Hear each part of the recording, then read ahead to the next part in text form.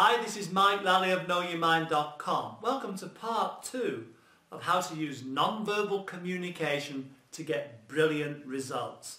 In this part and the following part, I'd like to discuss the importance of making the very best first impression. So how vital are first impressions?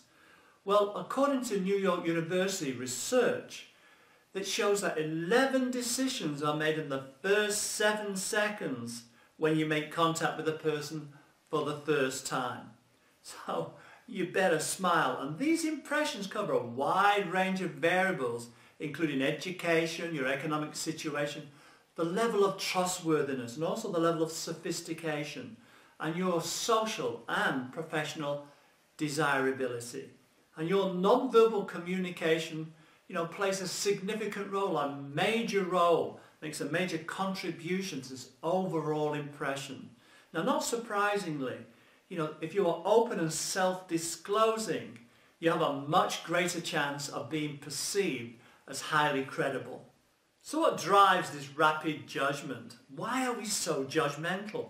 And what causes this to happen? And also importantly, what adjustments do you need to make? certain lightning judgments are made, well, in a second by your amygdala. You have two of them. And the amygdala is part of the mammalian brain, the middle brain. It sits just above the old brain.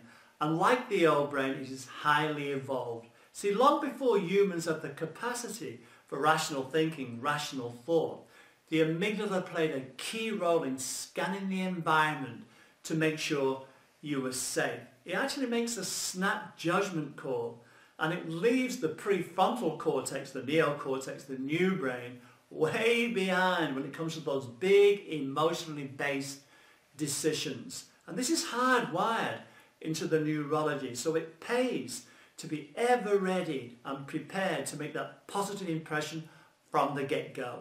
So really love your amygdala. They keep you safe.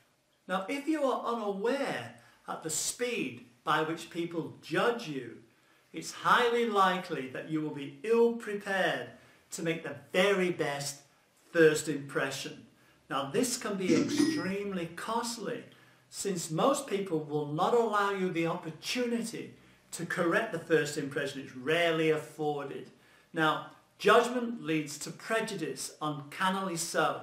So the first impression is obviously the final impression. Now, interestingly, so many people are blissfully unaware of the impression they give when they first meet someone. And even more curious is that many people, in fact, give the opposite impression to that which they wish to convey.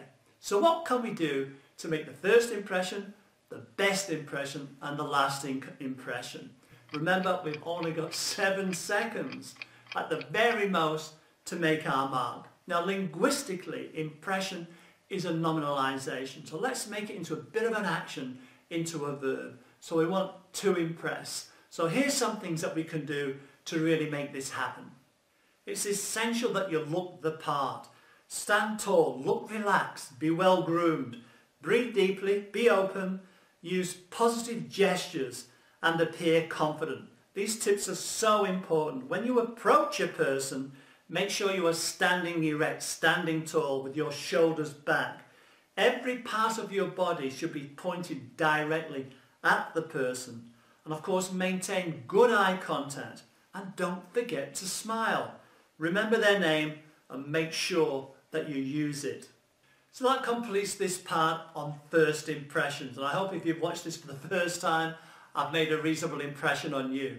So thanks for watching. If you can, visit my website, knowyourmind.com, my blog, mikelally.com. And if you wouldn't mind, could you please subscribe to my channel by clicking on the green link above or the subscribe button below and you will know when the next part is available.